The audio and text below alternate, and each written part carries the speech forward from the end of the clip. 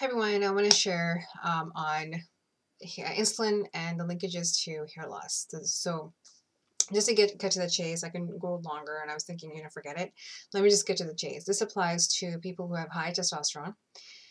You already know that high testosterone causes DHT issues, which basically for both men and women, okay, so men can also have extra testosterone uh, within their systems, so that causes um, a DHT uh, increase in the, in uh, on the scalp, which plucks off the hair um, follicle. So that is male pattern baldness due to hormone issues. But it's also due to insulin issues. And I didn't really, I was having a hard time articulating what was going on with me because I didn't realize the connection until I started doing the research. Because I myself was noticing that as I've changed my diet and was consistent longer term with insulin balancing uh, diet, um, my hair just started not it wasn't falling as much and the quality improved.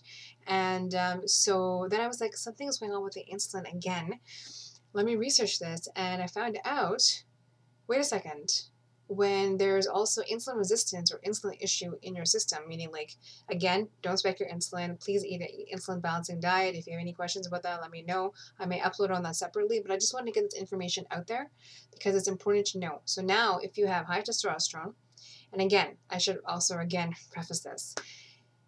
If you have been tested for thyroid and you know and for um, iron deficiency, B12 levels, and vitamin D, and those are all clear and good and it's really just about your insulin and or your testosterone then you know you know exactly what to do but make sure you're tested to know what underlying other issues could be going on when it comes to your hair loss. But specifically for this again for um, androgen reducing things you can do spearmint tea um, NAC, uh, omega 3 exercise, again, um, you know, uh, trying to reduce the testosterone within your system. Some of you may need Vitex or saw palmetto. Again, that all depends on what's going on with your system. And then the other side is insulin reducing. You have to change your diet to be insulin friendly. And um, for those of you who are not sure, just go insulin friendly. You can't go wrong um, in this situation, especially for long term health. So I always start people off by first quitting the fruits. For sure, the sugar, that's common sense. But for sure, the fruits, um, only berries. And then I start people off on, um, if they haven't been eating gluten free, first jumping on gluten free, and then slowly weeding them off of that to eventually go into a more low carb, kind of a higher fat, higher protein uh, diet to balance the insulin. Now, again, depends on your lifestyle. Some of you may have are fine with higher carbohydrates if you are exercising a lot and you don't have insulin resistant.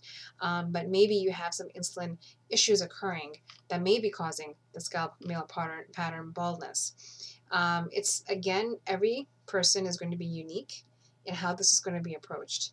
So, but it's good to know from a PCOS perspective that testosterone and insulin, like for me, it was a double whammy it was double the issue because I had the high testosterone and I had insulin I have insulin resistance and I'm you know managing. So I can tell you just from experience things have really improved once I've kind of joined those two together. If I was just focusing on the testosterone part, which was early on because my menstruation was irregular and all that stuff, and I wasn't really focusing on the insulin part, that's why I was still having the hair loss to the same, you know, to a higher level. Now that I've married the two, because I am, again, everyone's condition is going to be different. So for me, I had both issues. Um, it's been phenomenal in the change. So, um, of course, supplementation and all that stuff. Any questions or comments about that, let me know. I just want to keep this short and basic because I know people just want the information. Below are links that are relevant, and I'm sure you can find more information around this.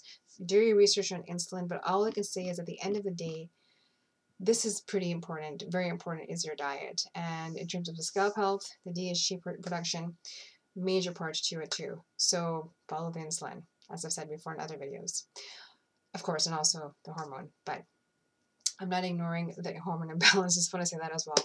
Okay, any questions or comments, let me know. Take care.